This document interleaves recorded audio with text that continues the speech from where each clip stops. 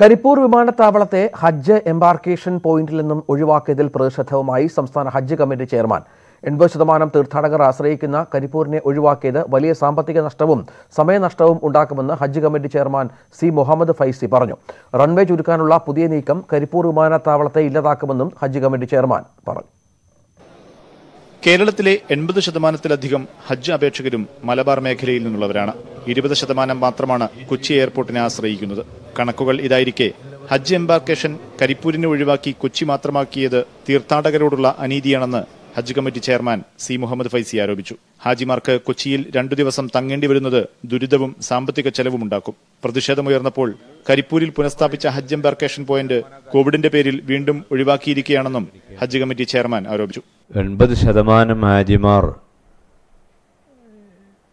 മുഴുവനും കൊച്ചിയിലേക്ക് പോകേണ്ടി വരിക എന്ന് പറഞ്ഞാൽ അവരും അവരെ കൂടെയുള്ള സഹയാത്രികരും വളരെ പ്രയാസപ്പെടേണ്ടി വരും. അതിനു പുറമെ കോഴിക്കോട് എയർപോർട്ടിന്റെ തൊട്ടടുത്ത് ഹജ്ജ് ഹൗസ് ഗവൺമെന്റും ജനങ്ങളും സഹകരിച്ചുണ്ടാക്കിയത് അവിടെ വെറുതെ കിടക്കേണ്ടി വരും. കരിപ്പൂരിൽ റിസ ഏരിയയുടെ ദൈർഘ്യം വർദ്ധിപ്പിക്കാനെന്ന പേരിൽ നിലവിലെ റൺവേയുടെ നീളം വെട്ടിച്ചുരുക്കുന്നതോടെ വലിയ വിമാനങ്ങൾക്കുള്ള അനുമതി പൂർണമായി ഇല്ലാതാകും. ഇത് കരിപ്പൂരിന്റെ ചിറകരിയുന്ന നീക്കമാണെന്നും ഹജ്ജ് കമ്മിറ്റി ചെയർമാൻ ആരോപിക്കുന്നു. അതിന്റെ റൺവേയുടെ നീളം കുറക്കാനുള്ള ഒരു തീരുമാനം കൂടി ഉണ്ടായി എന്ന് പത്രങ്ങളിലൂടെ അറിഞ്ഞു.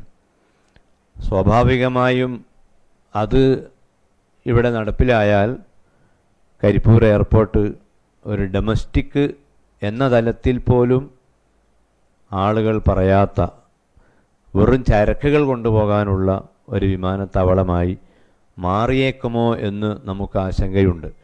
യാത്ര തിരിക്കും മുമ്പ് തീർത്ഥാടകർക്ക് ഒരുങ്ങാനായി കോടികൾ ചെലവഴിച്ചാണ് കരിപ്പൂരിൽ ഹജ്ജ് ഹൌസ് നിർമ്മിച്ചത്. സ്ത്രീകൾക്ക് വേണ്ടി പ്രത്യേക ബ്ലോക്കിന്റെ നിർമ്മാണം പുരോഗമിക്കുകയാണ്.